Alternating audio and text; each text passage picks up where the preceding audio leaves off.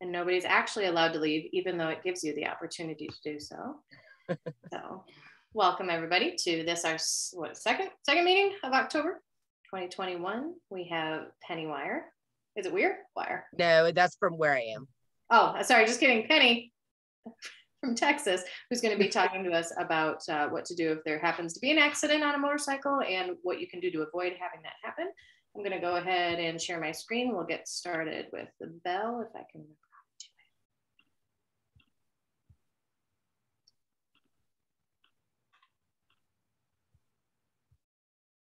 Oh no. All right, well, it's asking me to update, so we might not be getting a bell tonight. Let's see. This only happens I, when I'm recording.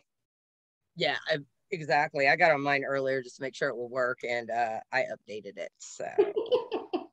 no, it's not going to work. So if everybody could just right along with me, go ding.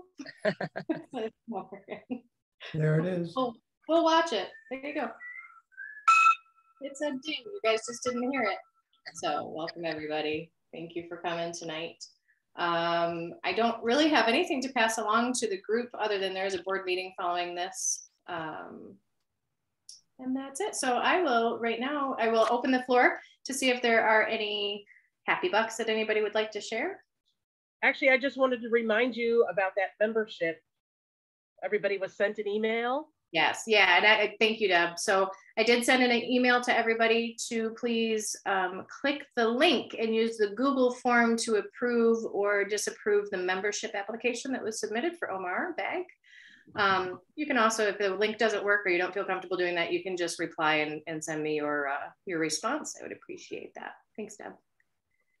Oh, you're talking happy bucks. We got a good ride in in the Sierras last Saturday. Thank you, Larry, for leading that. Uh, I was so smoked on Sunday after we were done. Yeah, it was a good ride. Uh, what, did you get home that night or did you stay in Yeah, Auburn? it was an extra four hours getting there and back and the ride in the middle. So, but yeah, cool route. It's fun. I uh, had a uh, anniversary on Monday. It was uh, number 52. Nice. Congratulations. Happy anniversary, Rob. Thanks. And I, I missed you. I got you, Jerry, in just one second. I missed you when you came in, Quinn, but we have a guest, Quinn Edgecombe. Would you like to introduce yourself? Yes. Hi. I uh, can you guys hear me? Okay. Can. Yep. Awesome. Um, uh, my name is Quinn Edgecombe. I'm a part of the Rotary Club of Houston Skyline. Um, I recently met Deborah on the End Polio Now ride, and I've kind of been following um, y'all's club on Facebook. Um, I, have uh, known Uta for a while, so I don't, I don't think she's on the call tonight, but she's a longtime friend through RYLA. I'm a big uh, part of RYLA uh, locally in District 5890. So, yeah, I've been meaning to join a meeting, and I'm excited to hear the talk tonight. So, glad you did. Welcome. Thanks for having me. Of course, anytime. Jerry, did you have a happy bucks? Yeah, I'm happy that I'm all ready for the marathon this weekend. Are you are you already ready? I am ready. This week's been a light week. It's been nice not running all those miles. Today I ran only three and a quarter miles, only just a little dinky that's little run. Yeah, that's and as of right now, I have $24,040.68 of pledges. That's including the gates matching. Or I'm running for $917.58 a mile. That's awesome, Jerry. Congrats. Getting close. If I hit that, if I hit that thousand dollar mark, I figured out if I did the math right, every two steps, I'm vaccinating a child. So, okay, so how, what, what's your current awesome. your current total nine what? Per per mile is nine hundred and seventeen dollars and fifty eight cents.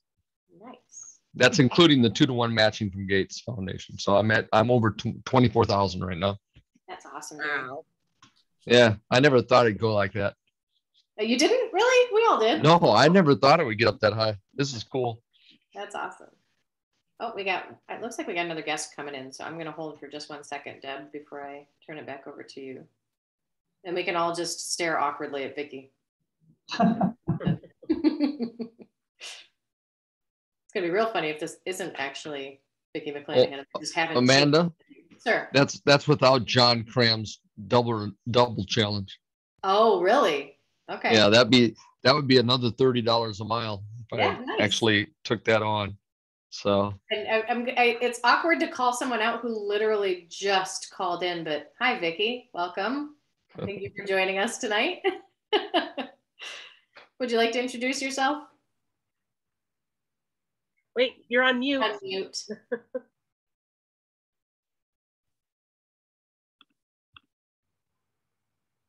Hear you quite well. Okay, unmuted. Hi, Vicky. Where are you joining us from, and how did you find up find us? Um, let me kill this directions.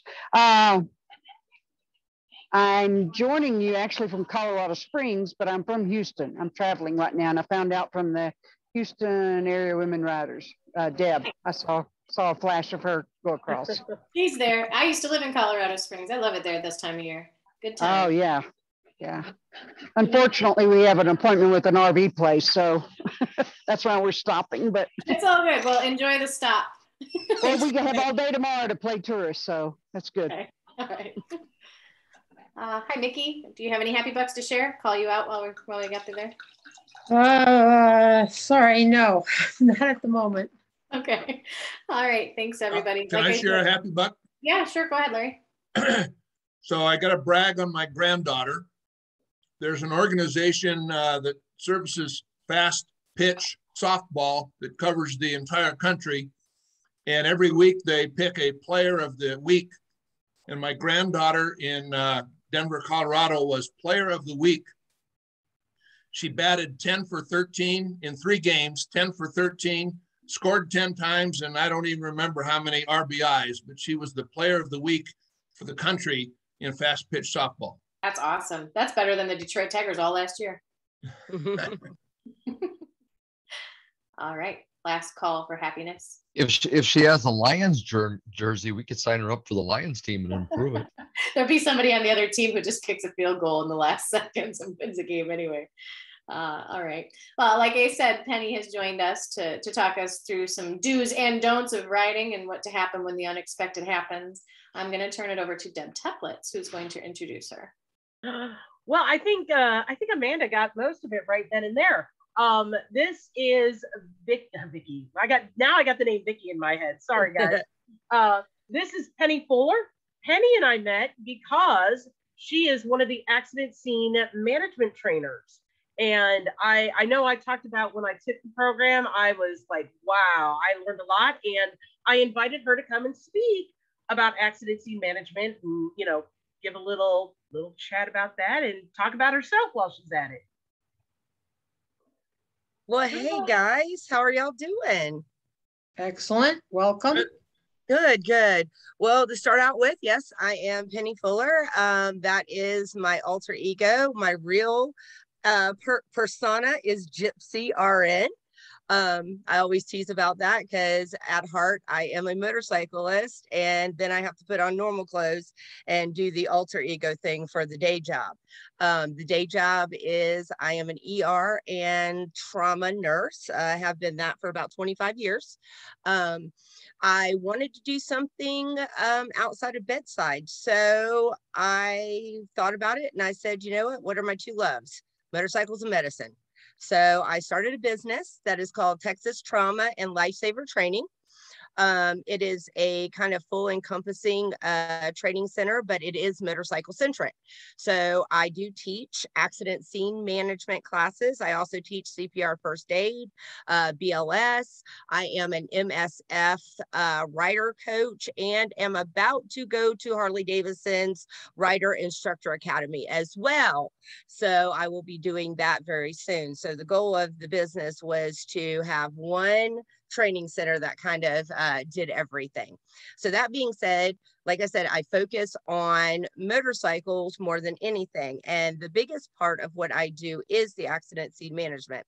Um, this is a program that was started by Road Guardians out of Wisconsin. And I'm not good at sharing stuff. So I'm just going to give y'all a little, this is Road Guardians and you can find them at roadguardians.org. Vicky was the nurse that started it, and um, it was a way for her to start training the people in her club um, at the time. She got it all accredited and created the accident scene management. So just like I am an independent contractor for American Heart Association, Red Cross, and um, ASHI, I am an independent contractor for accident scene management as well. So Vicki handles all of the booklets and the patches and the accreditation, and I am an instructor for that. So that's the easiest way to explain where I come into that. Um, I am the only active instructor in all of Texas, but it is all over the country. So uh, you don't have to come to Texas to take the class. But what accident scene management is, the class is a fully accredited um, class by the American Nurses Association. It's evidence based. Um, I use both uh, TCCC, if y'all are uh, military, that is Tactical Combat Casualty Care, as well as TNCC, which is Trauma Nurse Core Curriculum. Um, evidence-based practice uh, to provide true trauma training. So this goes well beyond first aid and uh, CPR. We actually do not teach CPR in our trauma class because CPR is for cardiac events, cardiac arrest, strokes.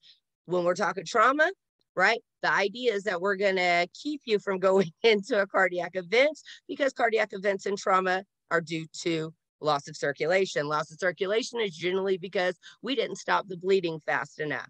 So the course goes into everything from scene safety to moving the injured, um, controlling major bleeding, including tourniquets, pressure dressing, uh, um, Israeli bandages or emergency bandages, um, we also do helmet removal. And yes, it is necessary sometimes. We teach you the how, when, and the why that you would have to remove a helmet. Um, we also talk about everything from shock to mechanism of injury, spinal stabilization, um, splinting, all of those kinds of things. Um, I am super passionate about this. Uh, I have again, I'm a nurse at heart, so I'm a scientist at heart. So everything to me is evidence based. Um, there are studies out there that say that bystander assistance, specifically in trauma, can reduce morbidity and mortality by up to 4.5%. That goes up exponentially on how well the bystander is trained for trauma. So I have those um, those articles if anybody would like those to be able to read them. Um, a lot of my statistics and all of that come out of Texas because obviously that's where I live. Um, but one of the ones that struck me as the the one of the biggest things is that um, motorcyclists account for only 4% of all vehicles on the road in Texas. 4%. But we're 16% of all vehicle fatalities. That's huge. That's a huge disparity within you know what's going on.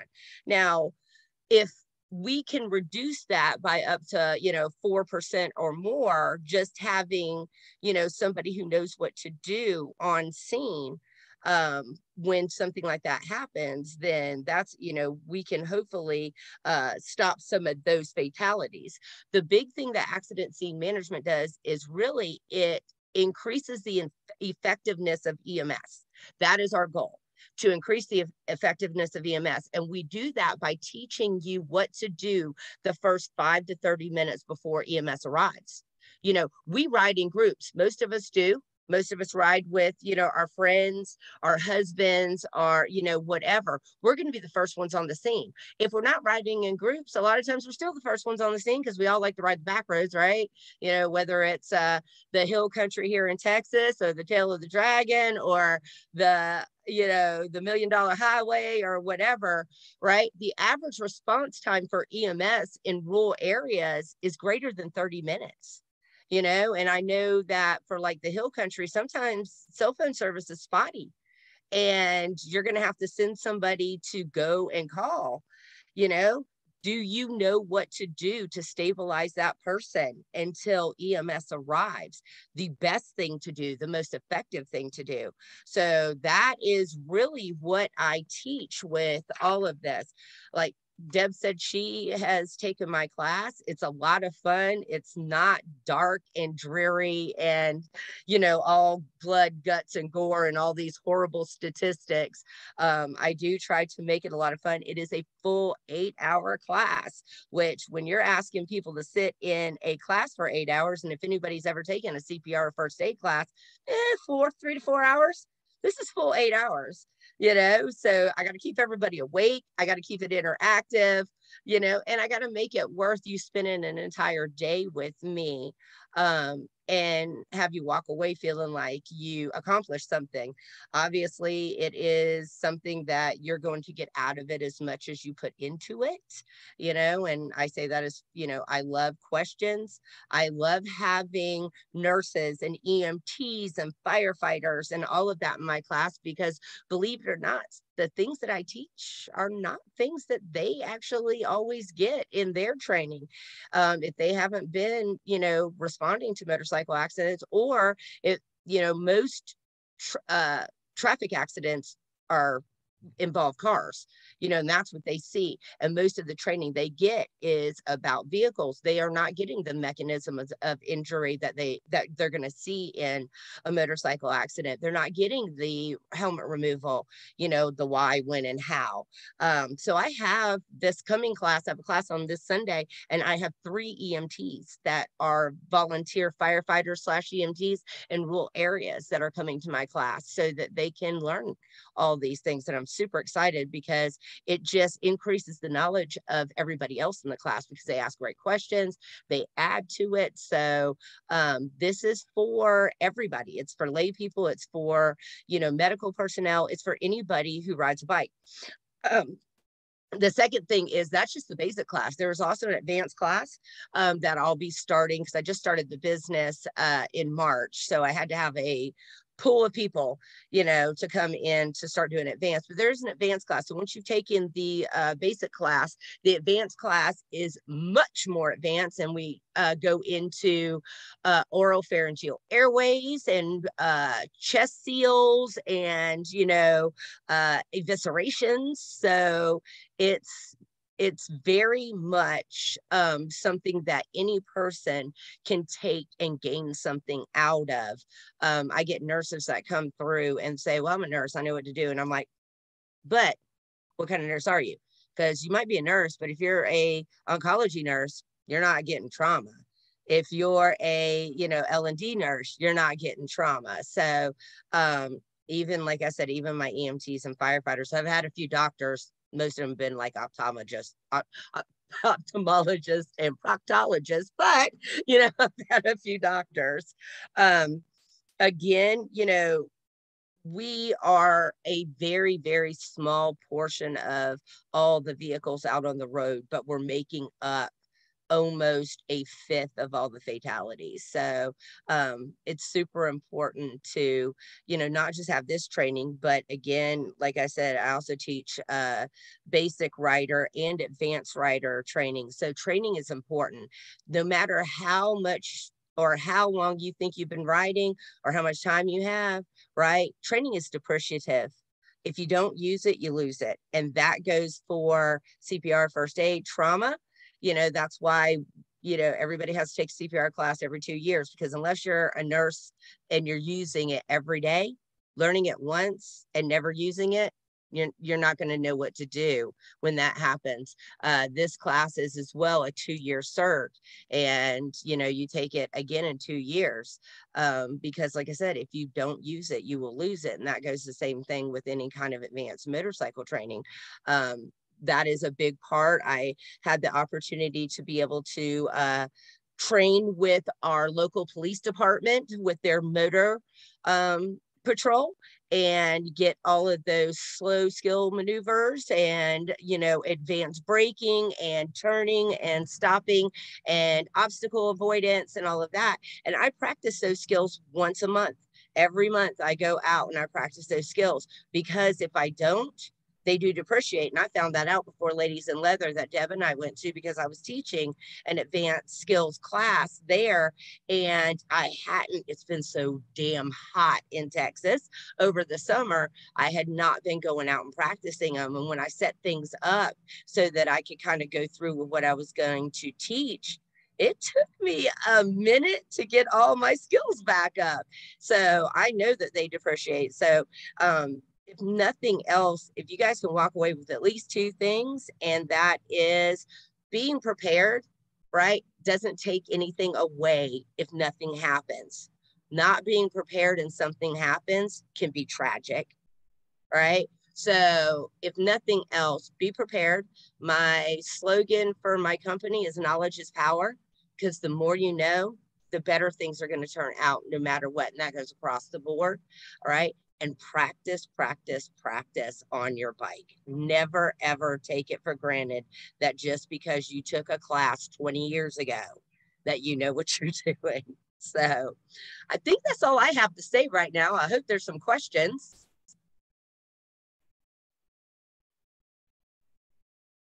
If there is one thing that you could tell this group in the event of an accident, like the number one thing that you need to do, first thing off the bike, what is the first thing you need to do when you come up on an accident? Um, the very first thing is assessment.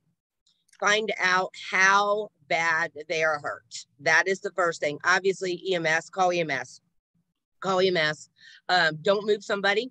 Never take anything out of anybody and never put anything in anybody. Those are my two rules don't don't take anything out of anybody don't put anything into anybody right and assess you're going to do your uh, circulation airway breathing type deal um, obviously airway they're both just as important. If somebody's not breathing, but they're spurting blood out of an artery, you're going to probably going to have to take care of that arterial bleed before you start with the airway. So uh, recommendations have changed that instead of ABC, it's CAB and CAB where you're doing for trauma, it's, it's kind of going to be circulation, airway breathing.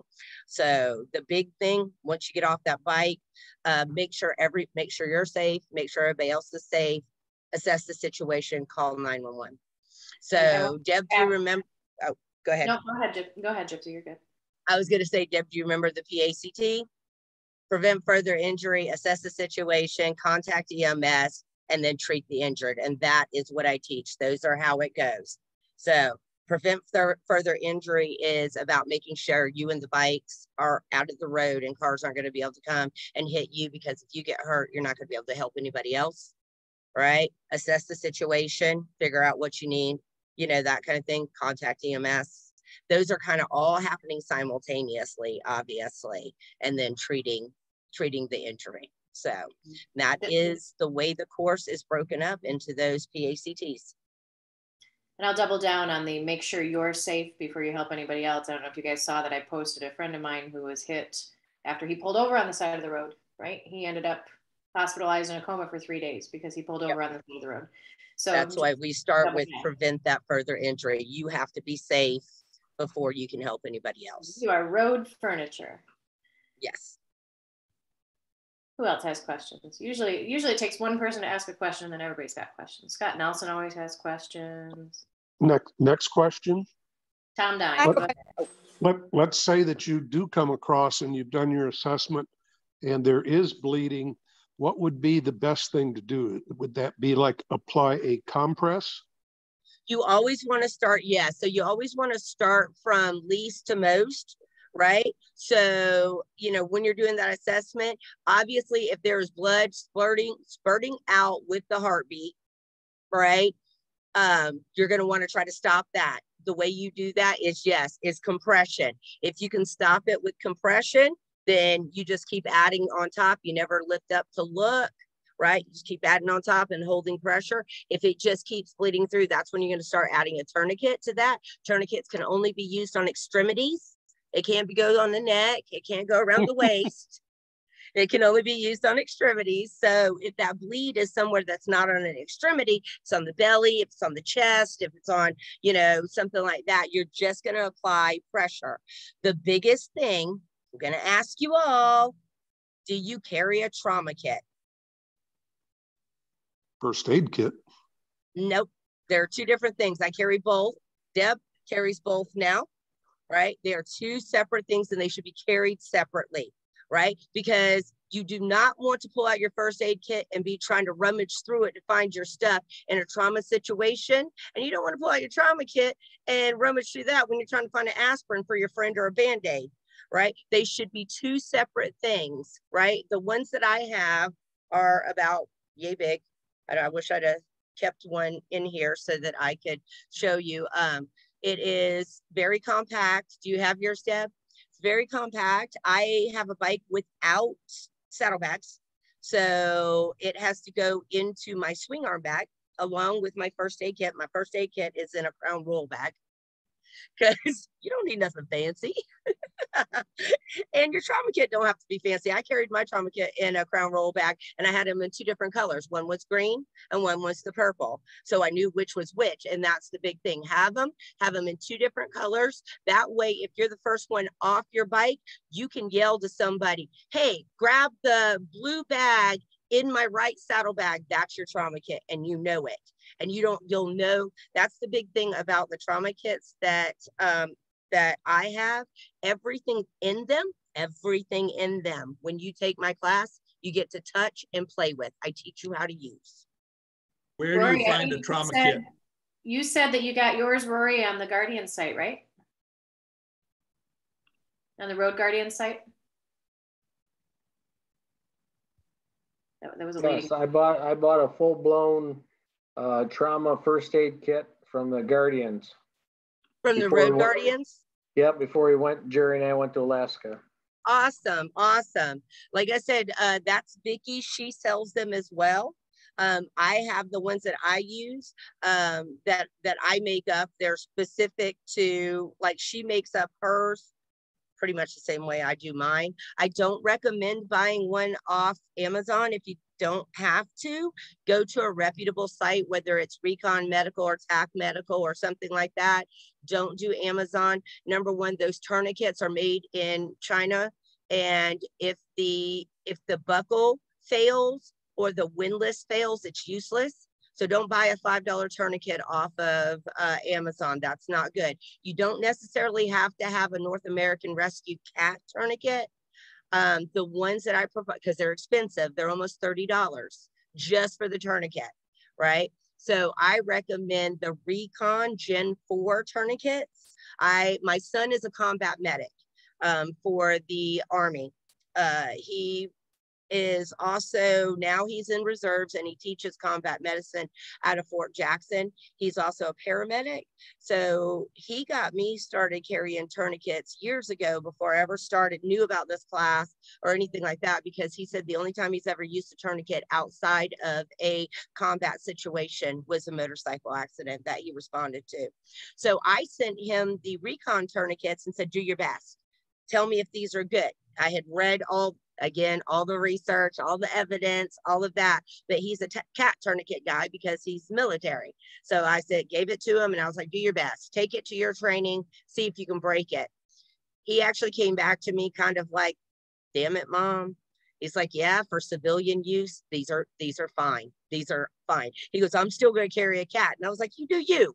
But i am trying to get people to carry a trauma kit and make it economical for them to buy it so that they will carry it. Because if you look on, trauma kits can be upwards to 100 $150. I sell mine for 60 You know, I'm not making any money off of them at all. I just want you to carry one. That's all I want. And I want you to know, know how to use it. What's your What's your website where we can buy them? I had posted the one from the Guardians. It is TX Trauma lifesaver.com. There you go. I am crap. I should have had like little stuff to send you like that. But we got. I got uh, you. I got you. yeah. um, and I also have a Facebook that is the same thing. It's uh, TX Trauma Lifesaver. Um, but it's no, it isn't. It's it's Texas Trauma and Lifesaver on. But Deb can give you that. She's on the website. um, but you can contact me, you know, for anything. Um, if you have any questions about anything, you don't have to buy mine. I, I don't care. You know, just make sure that when you buy one, you know how to use everything in it, right? I don't want you getting one that has needle compression and then y'all trying to do needle compression on the side of the road. That's not cool, you know? um, I do talk a lot in my class about the Good Samaritan law because people always have questions about the legalities of doing something wrong. You know, am I going to get sued? Um, we live in Texas, so this is the question I ask for people in Texas. This may not go over as well for everybody there, but I always ask people if they are um, licensed to carry, like gun gun carriers, whether it's concealed weapons or licensed to carry. A lot of my people are. They had to take a class, and in that class, it tells them, right, that if they remove their firearm, even if it is complete self-defense, be prepared to get arrested, right? You got to be prepared for that. So we live in a day or an age where anybody can sue anybody for any reason whatsoever. But the Good Samaritan laws do protect you. They protect you. That person can sue you in civil suit. And it, it, I mean, until the judge hears it, it is what it is. But that Good Samaritan law protects you as long as you were doing what you were supposed to be doing in good faith. That includes me and that includes EMTs and firefighters, because I always get them to ask that. Said, you know, what if we're doing something outside of our scope of practice? And I'm like, as long as I'm not trying to freaking do surgery on the side of the road, because that would be out of my scope of practice right? As long as I am trying to save somebody within the best of my knowledge with good faith, I have no worries whatsoever. So just make sure that if you're going to get that trauma kit, please know what's in it, know how to use it, and know how to use it properly so that you don't further injure somebody. But you're not going to get sued if you do. You know, that's what I'm saying, as long as you're in good faith. Now, if you walk up to them and decide you're putting the tourniquet around their neck because you don't like Jim, that may be a problem, you know, or if you go up to them and decide to kick them in the head before you start treating them, because he was messing with your wife. That may be a problem, you know. But as long as you're doing everything in good faith, you're fine.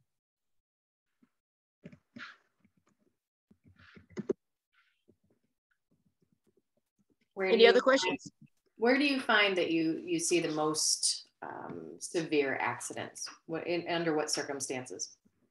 Um, obviously your most severe accidents are going to be in your urban settings where other vehicles are involved your single motorcycle accident in an urban setting I mean, in a in a, a, yeah in an urban setting where it's just they ran off the road or a dog ran out in front of them or you know they took the curve too fast is not usually quite as severe. But the problem is it takes longer for EMS to get there, so it makes it you know that fatality uh you know could happen just because of the length of time.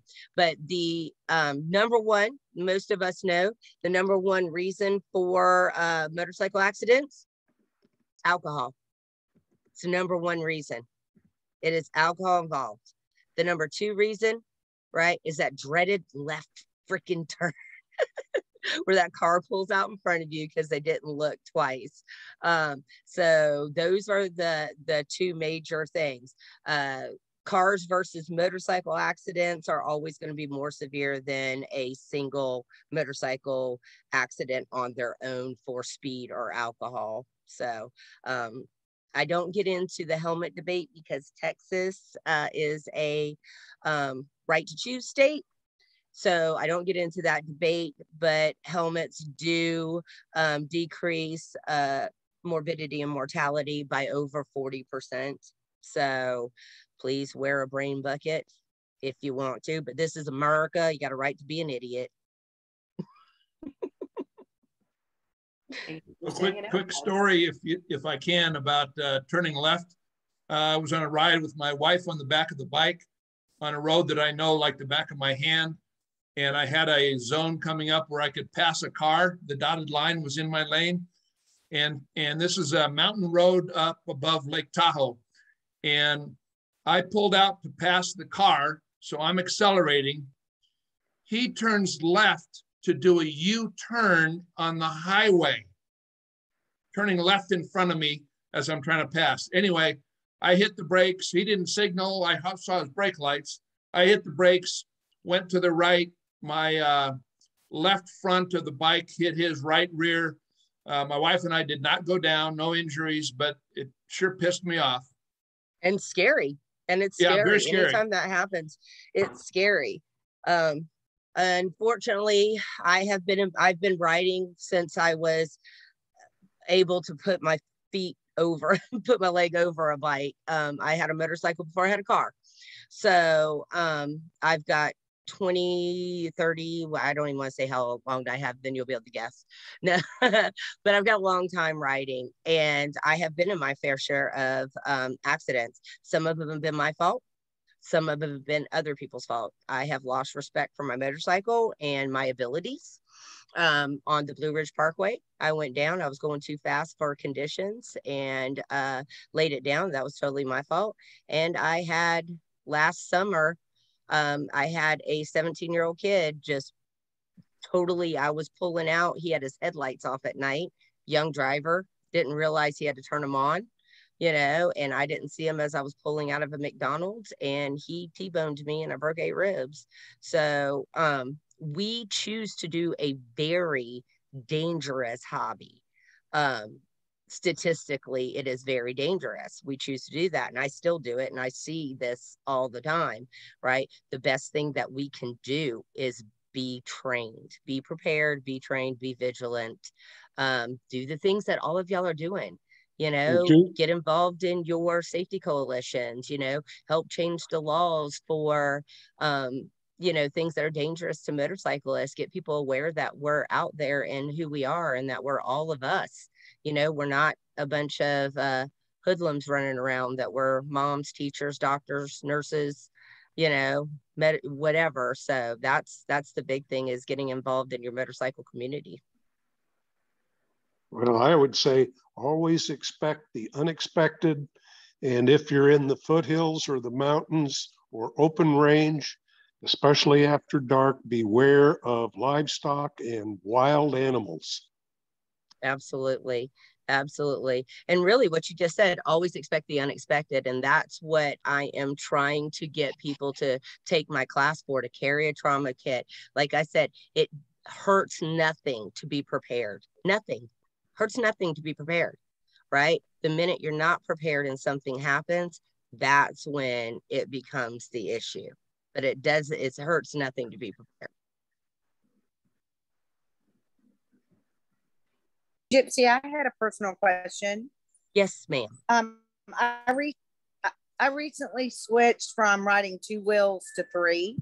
Uh, my husband and I, well, I just recently retired. He retired two and a half years ago, and uh, because of his issues, it was harder for him for me to ride on the back, and I don't do a lot of long trips.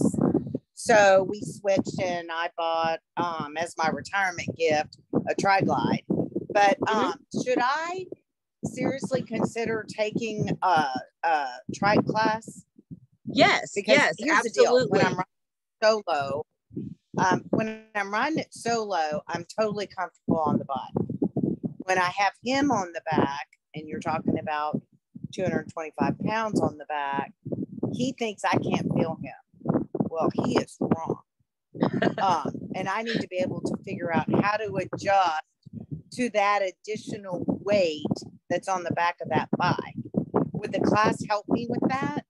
Yes, absolutely. Um, so you already had your motorcycle license when you got the tri-glide. So you have not taken one of the three-wheel classes. Um, there are several places that offer three-wheel classes, and and the biggest reason I know about this this is because one of my best girlfriends, Ryker, um, when I say went to, okay, she was riding on the back of her husband's bike. They had an accident. She decided that she wanted control of her own. So she got a Ryker. She didn't want to do two wheels. And um, she took the three wheel class, and I went up there and talked to the instructor um after you know she finished and yes it would absolutely because the three wheeler handles differently, it maneuvers differently, and they do go through some of those kinds of scenarios. So I would definitely say it would be worth it for you to take it. Um, the other thing is, is that you're just as vulnerable as a two wheel bike. As far as like you don't have anything around you, you don't have airbags, you you may not drop it, quote unquote, but you're just as vulnerable. So please, please consider taking a trauma class as well, um, wherever your area is and that kind of deal, so that if something happens or if you're writing in a group and something happens to one of your friends, you'll know what to do. All right, awesome. Thank you. You're welcome. I, I think what she said, Dottie, is when you're riding with the motorcycling Rotarians. so let me tell you, when I started all of this, I made every one of my friends take the class from me. And they're like, why? We got you. And I was like, yeah, but it's up to you guys to save me. Who's going to save me if I go down? That's perfectly fair. I, so I was a combat lifesaver in the army too, and really all that mean I, I jokingly say it's really a de- combat death prolonger. That's all that is. Yeah, yeah, yeah. so, um, but yeah, even you take it, Amanda, because like I said, even though you're a combat medic, you if you don't use it, you lose it, and things change. You And it's know, been- it's been a couple of years since I got out of the army. Right? Things change. You know, evidence changes, and you know, when's the last time you actually had to apply a tourniquet or wrap somebody up? You know. I actually, I actually never had to do any of it in combat. The only, uh, the only thing I ever did was give a lot of IVs to a lot of people who drank too much when we were in Colorado. Springs. Yeah, a lot of IVs and a lot of Motrin. Call the doctor. Good. What other questions do we have for Gypsy? A quiet group tonight. I don't, I don't know. She's, uh, Some, she's sometimes you can go through a military channel and you can get a hard shell first aid kit on like the bottom or the right side for a small first aid area. And then the left side might have the different size gauze pads and ointments and bandages and adhesive tape and so forth. Yeah, the, And- the, the first aid kit I carry most definitely was acquired, marauded perhaps from my army truck, and it has my army truck's name on it. that's my that's my MI MI five in the in the saddlebag of my uh, of my scout. It's Oh, a souvenir. I like it. yeah. It, it, it definitely. I need to go through it because I'm sure there's some uh, there's some uh, stuff in there from 1994 that probably needs to be replaced. I think we Yeah. might have lost Gypsy. It looks that Yeah. way. It looked like she froze, so maybe she'll try and Mhm. come back. I usually blame it on me, but I figured everybody else was still moving, so it wasn't me this time. Has uh, has anybody in this group ever been put in that situation where you've come up on an accident or you've been in an accident yourself and had to render first aid in a trauma situation? Mhm. Pretty fortunate. It's pretty fortunate for us. That's good. It's, is that kind of like you know if you bring an umbrella, it won't it won't rain, right? Everybody's got their trauma kit and their first aid kit in their bag, so they haven't had to use it. I've actually had to do CPR on somebody. So No. She didn't make it, but it wasn't because of me.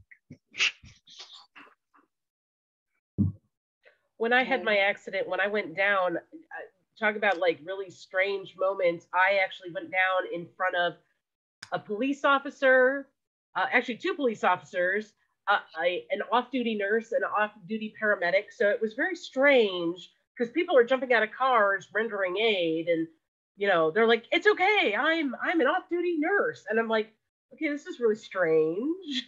okay. I mean, that's like wrong place, right time, right there. yeah really you know realistically yeah it was uh it was definitely interesting but uh uh Penni for those uh, for those there are a couple people that i see here that are i- i- in texas um i know uh Penni is going to be giving classes um most of them are towards the central texas area she's actually out of georgetown but um we have been working with her to get more classes here in the houston area as well and I cannot encourage people enough to uh, sign up for the class. It's well worth your time to understand even some, something as crazy as if you're in a situation where you have to remove a helmet, because that is one of the things that she trains on. And, um, you know, a lot of times, I, you know, it was kind of scary. Actually, you know, being the person who got to lie on the ground while people are pulling your helmet off, which is a very surreal feeling.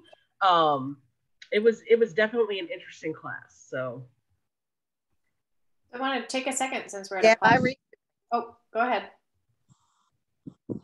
Deb, I recently posted on your um, page uh, that uh, to if you have old helmets that you should donate them to your firefighters, your EMS in, in your local area for them to train on. And it turned out, you know, since we recently retired and we moved to the country, it turned out that they were getting ready to have a training class and were well excited about receiving those helmets that I had that were, I'm not going to tell you how old they were, but they were too old for us to be wearing anymore. so Actually- that's just something that people should think about.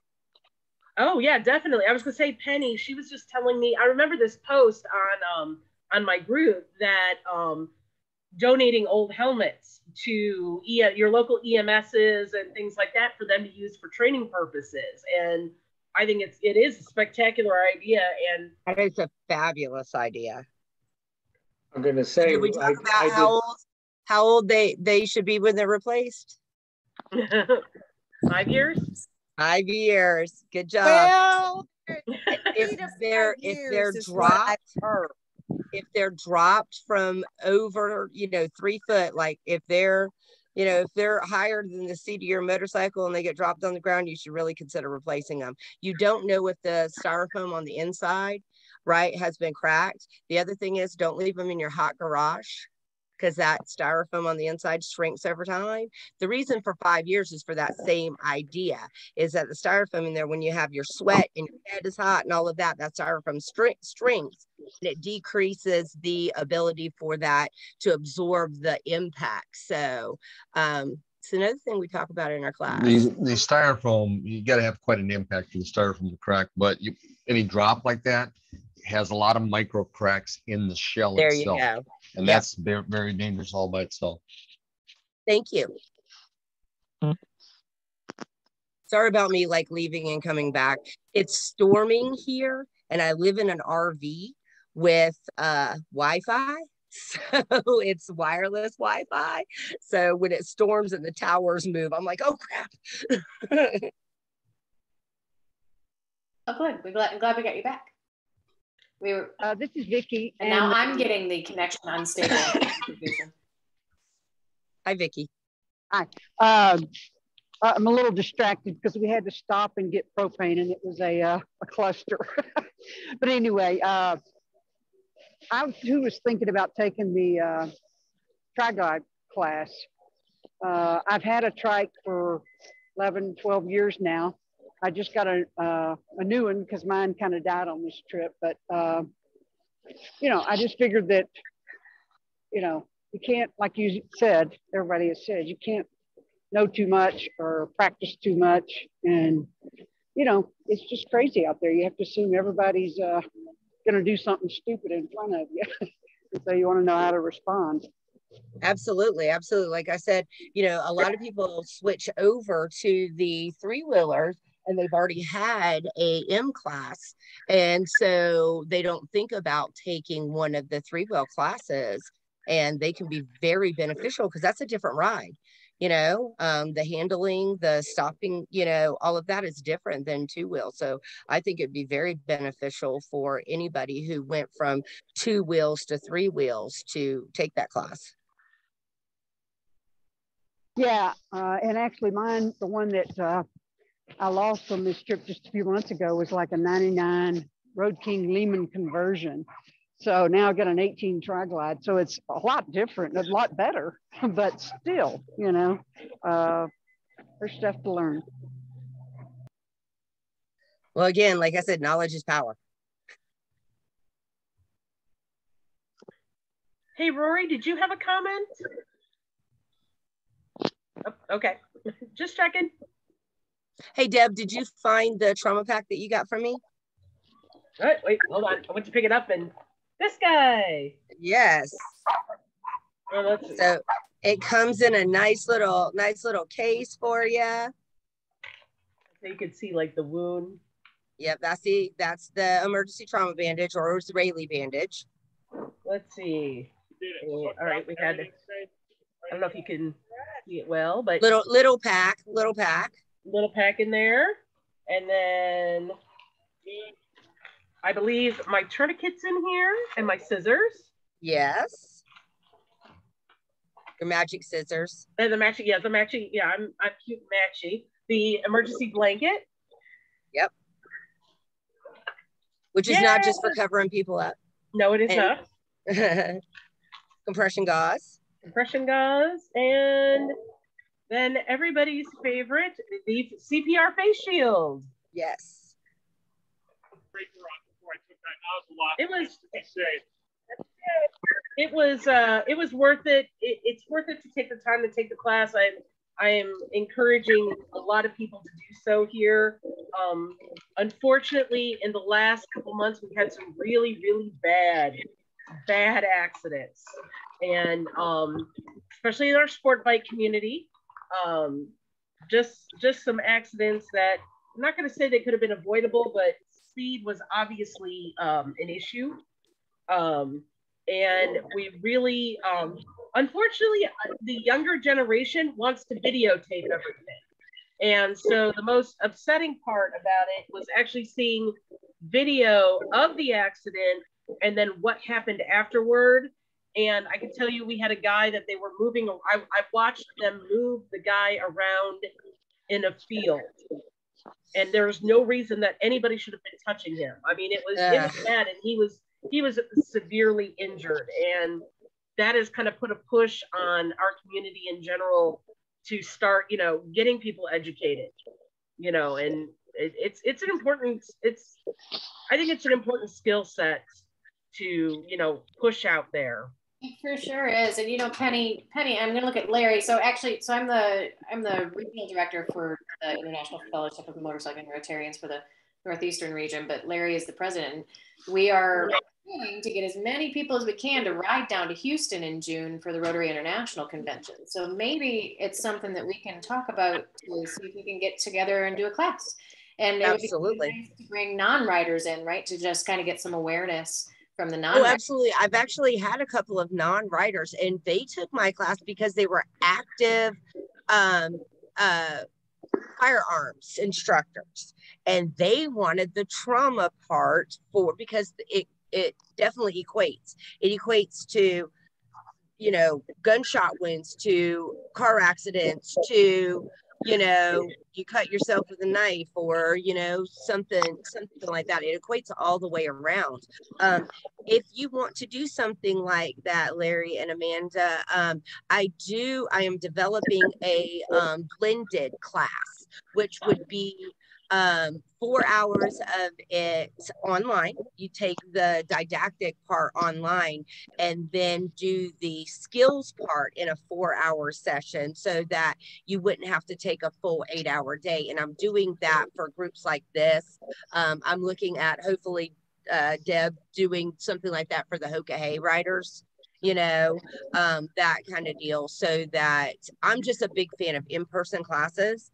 Um, I think you get more out of it when you get that interaction and all of that. This is a way to kind of have it, you know, so that just the regular didactic part you can do online and then I can do just skills training. And of course, the ulterior motive there, it's all part of getting you familiar with Rotary, talking to you to join it.